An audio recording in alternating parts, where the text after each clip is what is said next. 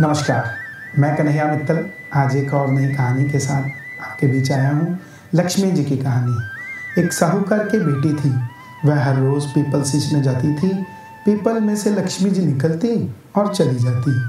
एक दिन लक्ष्मी जी ने साहूकार की बेटी से कहा, तू मेरी सहेली बन जा। तब लड़की ने कहा कि मैं अपने पिता से पूछ कर आऊँगी। घर जाकर पिताजी को सारी बात कह दी। तो पिताजी बोले, वह तो लक्ष्मी जी हैं। अपने को क्या चाहिए? सहेली बन जा। दूसरे दिन वह लड़की फिर गई। जब लक्ष्मी जी निकल कर आई और कहा, सहेली बन जा तो लड़की ने कहा, बन जाऊँगी। और दोनों सहेली बन गई। लक्ष्मी जी ने उसको भोजन का न्योता दिया। घर जाकर लड़की ने माँ बाप को कहा कि मेरी सहेली ने मुझे खाने का न्योता दिया है। तब बाप ने कहा कि सहेली के जिमने जाइयो, पर घर संभल कर जाइयो। जब वह लक्ष्मी जी के यहाँ जिमने गई तो लक्ष्मी जी ने उसे शाल दोशाला ओढ़ने के लिए दिया, रुपए परखने के लिए दिए, सोने की चौकी, सोने की थाली में छत्तीस प्रकार का भोजन करा दिया। जिम कर जब वह जाने लगी तो लक्ष्मी जी ने पल्ला पकड़ लिया और कहा कि मैं भी तेरे घर जिमने आऊँगी। तो उसने कहा, आ जाइयो, घर जाकर वो लड़की चुपचाप बैठ गई। तब बाप ने पूछा कि बेटी, सहेली के यहाँ जिम कर आ गई और तू उदास क्यों बैठी है?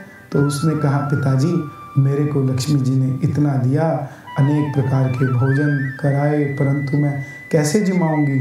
अपने घर में तो कुछ भी नहीं है। तब पिता ने कहा, गोबर मिट्टी से चौकी की सफ़ाई कर ले। चार मुख वाला दिया जलाकर लक्ष्मी जी का नाम लेकर रसोई में बैठ जाइयो।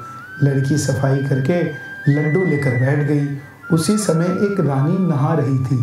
उसका नौलखा हार चील उठा कर ले गई और उसके यहाँ वह नौलखा हार डाल गई। उसका लड्डू ले गई। बाद में वह हार को तोड़कर बाज़ार में गई और सामान लाने लगी। तो सुनार ने पूछा कि क्या चाहिए? तब उसने कहा कि सोने की चौकी, सोने का थाल शाल दुशाला दे दे, मोहर दे दे और सामग्री दे दे।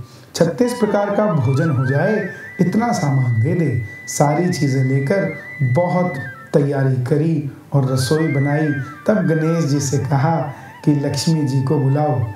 आगे आगे गणेश जी और पीछे पीछे लक्ष्मी जी आई।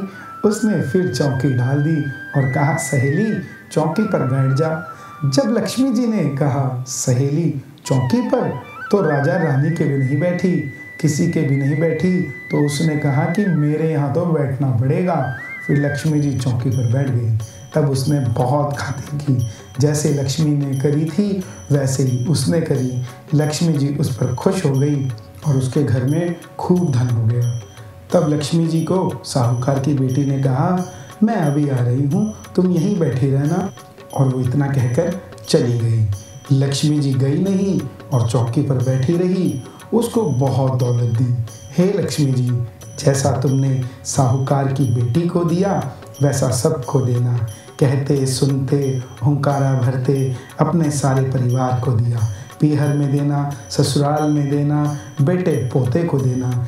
हे लक्ष्मी माता, सबका कष्ट दूर करना, दरिद्रता दूर करना, सबकी मनोकामना पूर्ण करना। जय लक्ष्मी मैया।